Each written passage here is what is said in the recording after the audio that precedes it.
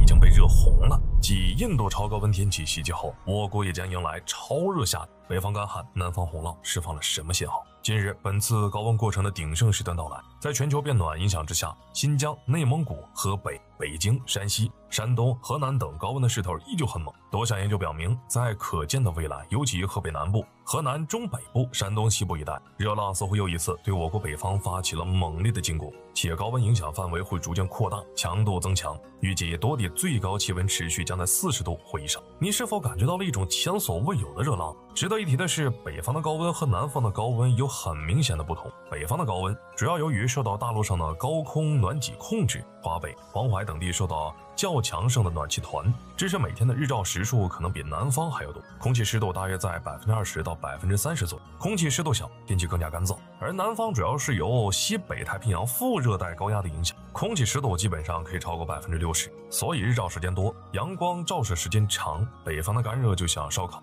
三百六十度整体烘干；南方的水田和河流湖泊很多，高温天气下更像是在蒸桑拿。此外，在进入初夏季节以后，北方地区往往会在端午过后迎来高温暴击，主要是六月下旬和七月上旬，天气二话不说直接开启炙烤模式。再加上我国北方大部分地区尚未进入雨季，所以京津冀地区近期几乎霸占了全国高温榜前十名，呈现出了北方最高温度高过南方的情况。以及城市快速扩容发展导致的城市热岛效应，导致北方的夏天又热又旱，南方的高温季节则主要集中在七月后半段以后，分秒不停的送来令人无法拒绝的热量。此时雨带已移至北方，北方的空气湿度会有所增加，转化为那种巴杂闷热、熏蒸窒息感。而南方火辣辣的阳光也将终日追随每一个人。专家指出，从气候变化的角度，相对来说，今年夏天整体会比去年更热，而且初夏阶段北方高温的影响因子复杂，部分测站打破历史极值有一定的可能性。预计高温的日数也会高过常年同期。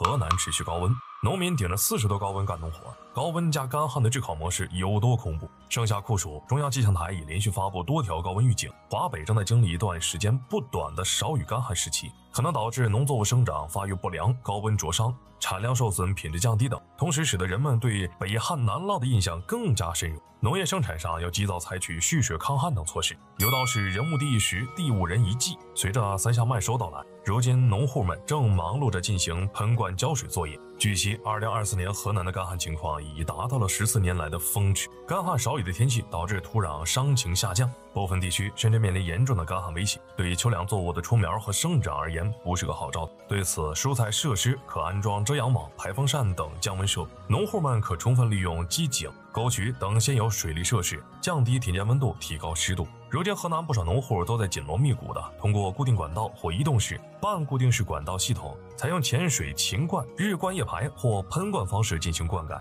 面对更热更旱的未来，至少可以起到降低温度、防止水分蒸发的补救作用。某种意义上而言，持续的高温干旱还会造成饲料供应短缺，尤其是豆粕、玉米等农产品价格快速冲高，以及导致动物免疫力下降，养殖企业面临着更大的经营压力。除此之外，在环境气温达到二十六度时，畜禽即可受到热应激的影响，出现明显的生长缓慢、采食量减少、生产性下降等现象，严重者还会休克和死亡，包括奶牛、母猪、肉鸡等等，极易感染各类传染性、繁殖障碍性疾病。对此，养殖户可以在这些雏禽的饮食中加喂西瓜皮或青蒿或南瓜、薄荷、甘草。防止其患上日射病或热射。据气象部门预测，华北地区遭遇创世纪强度干旱事件的概率正在增加，河南将面临长达一个月的干旱少雨期，这表明未来该地区的气候风险将进一步加剧。对此，农民们和养殖户们还需做好长期的抗旱准备。如何应对，把灾害损失减小到最低限度，是当下最应该讨论的问题。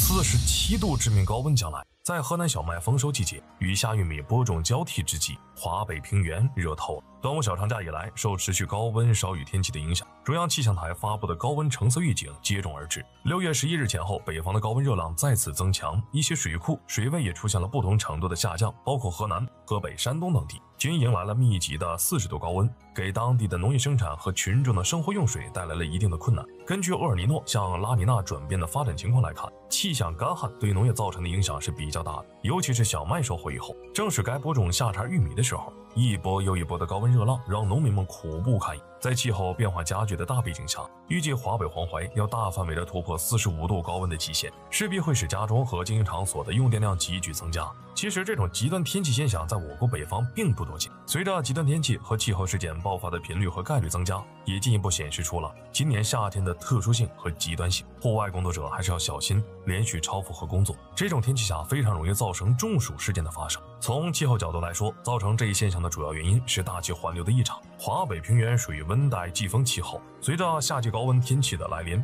春旱秋涝、旱涝交替的气候特征更加明显。干热气团是造成高温天气的主要推手，基于气温的升高将导致热浪更加频繁和极端。除此之外，不断加快的城市化进程也加剧了这一点，为更频繁、更极端和更持久的热浪提供了有利条件。由于热岛效应和雨岛效应，中国的增温速度高于同期全球平均水平。因此，一旦城镇规划中部分防灾设施的防灾能力不足，就将导致我国多地高温热浪的持续和加剧，更容易造成高温干旱的灾害，形成高温与干旱之间的恶性循环。有关部门表示，二零二四年有超过百分之六十的概率将是历史上最热的，因此我们必须要防患于未然，科学应对极端高温带来的各种挑战。